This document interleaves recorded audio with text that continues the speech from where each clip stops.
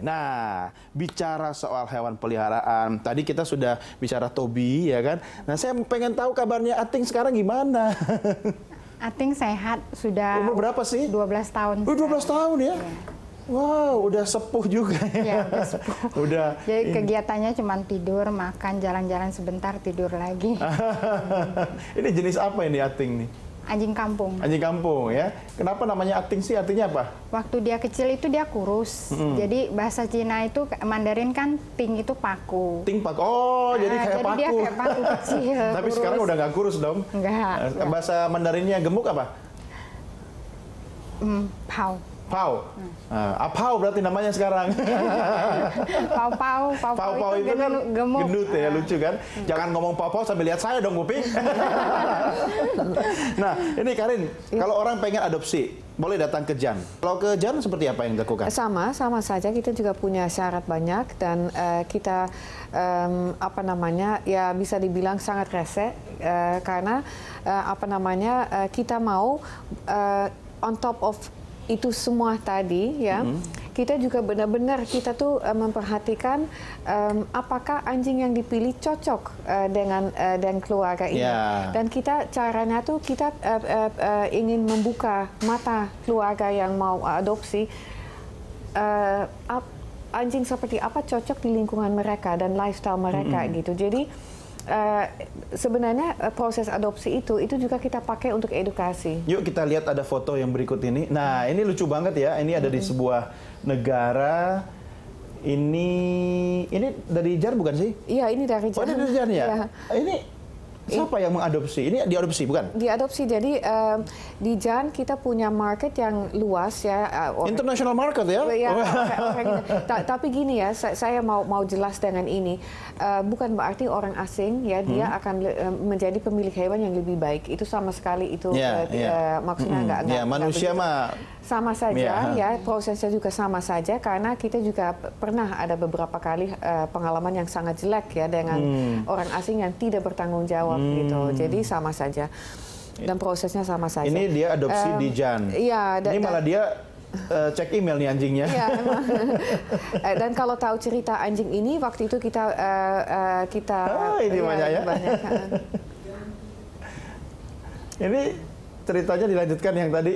Ya, jadi apa namanya? eh, semua punya punya sejarah ya, semua Heeh. punya cerita yang ti- yang tidak menyenangkan, udah pasti. Iya. Dan buat kita kalau melihat seperti ini, melihat happy, kita tuh, aduh itu benar-benar reward yang paling Iya, iya. besar. Tapi anjing gitu. bisa merasa trauma kan? Ketika Bisa. dia pernah disiksa, kemudian dia dapat Bisa. eh, rumah baru, dia pasti penyesuaian dulu dong. Eh, bisa, tapi tapi eh, apa namanya tidak ada anjing yang yang tidak bisa berubah gitu. Kalau manusia kan kompleks ya. Kalau ya. anjing tuh enggak. Kalau ki- kita kasih apa yang mereka butuhkan, itu semua trauma bisa hilang. Kalau misalnya anjing agresif atau penakut apa gitu, itu bisa hilang gitu. Tapi kita harus tahu caranya. Dan itu pentingnya edukasi ya. Kita Iya. harus tahu kalau misalnya kita adopsi, kita harus tahu soal animal behavior, dog behavior, kita harus tahu itu semua gitu. Nah, ini siapa nih? Kalau ini namanya Remy. Remy? Eh, Remy ini itu Nama anjingnya keren-keren semua sih. itu itu ibu saya. Ibu saya kemarin kan ke sini terus eh, saudara saya di Belanda eh, mau adopsi, saudara saya juga Dibawa dong. Iya, beberapa bulan yang lalu saudara Oh, saya yang Jadi ke sini. Remy tadinya di Jakarta, Heeh, terus dia- pindah. Terus dia pilih Remy, dia jatuh cinta sama Remy. Terus dia bilang saya mau adopsi gitu ya. Ya wes. Lucu banget. Terus akhirnya ibu saya yang bawa karena kan ada proses kalau misalnya mau ke luar negeri ada proses dan prosesnya. paspor. Heeh, terus akhirnya ibu saya yang bawa. oh, lucunya ya. Jadi Remy sekarang sudah bahagia. Sudah bahagia di Den Haag. Tukar tempat sama Karin. Karin malah tinggal di Jakarta. Saya sih nggak mau balik lagi.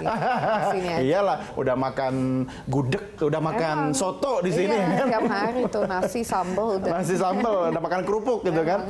Nah, Bu Ping Ping, kalau misalnya pernah dengar nggak ada hewan-hewan kemudian dieliminasi dengan cara diracun begitu ya? Itu pernah nemu nggak kasus kayak gitu yang kemudian bisa diselamatkan di TPP? Pernah, belum lama Gimana ini ceritanya? saya eh, bulan Desember, Oh, saya baru. tuh suka juga kasih makan anjing jalanan. Hmm, terus? Nah, di kira-kira 2 km dari rumah saya itu ada beberapa anjing jalanan, juga ada berpemilik juga. Saya suka kasih makan, nitip dog food ke pemilik, gitu ya. Satu hari saya pergi ke situ bawa eh, dog food, mau kasih titip ke pemilik yang anjingnya berpemilik. Eh tiba-tiba saya lihat ada satu yang udah tergeletak, Astaga. Nah, tergeletak, Itu dan pemilik yang melakukan itu pemilik. bukan pemiliknya tahu siapa yang melakukan karena pernah diancam tapi waktu dikasih racun kan nggak lihat. Oh. nah, jadi nggak bisa ngomong apa-apa. Dan pemilik juga nggak tahu mesti bagaimana gitu. Jadi dia diracunin itu kira-kira dari subuh jam 5 saya ke sana itu udah jam 4 sore. Begitu saya lihat saya langsung bawa pulang Nah kebetulan di samping rumah saya itu ada yang jual kelapa hijau ya. Iya, iya. Saya langsung kasih dia air kelapa hijau. Iya. Jadi nggak lama langsung dia muntah. Oh muntah. bisa ya? Eh, muntah Padahal keluar. sudah hampir seharian. Iya, muntah muntah terus dia berdiri sebentar, hanya sebentar terus Oh. tidur lagi, baring lagi. Tiga hari dia nggak bisa bangun. Oh. Tiga hari saya terus kasih dia uh, susu beruang, Iya, ya kasih untuk dia uh, makan saya suapin. Hari keempat dia bangun, Sembuh. sembuh, Sehat. sembuh, sembuh. saya Luar kasih biasa. nama Zena, Siapa? Zena. Zena. Iya. Ini yang tidak selamat ya? Ini di tempatnya Bu Pimping atau tempatnya Karin? Ini kasusnya lain. Lain ya? Apa? Coba ini, diceritain. Ini eh, kasus eh, animal lover ya. Ini kan? lady Eh, ya? Animal lover yang eh, punya empat atau lima anjing sehat-sehat Oh, ya. terus, terus? Terus sama tetangga. Oh, yang diracun. Yang Diracun, eh, sama tetangga diracun. Terus dua tidak eh, eh, Tidak selamat. tidak selamat termasuk eh, yang ini. Itu Iya, benar yang sangat ini tidak selamat. Yang Labrador tidak Tahu selamat. nggak motifnya kenapa diracun? Belum tahu ya.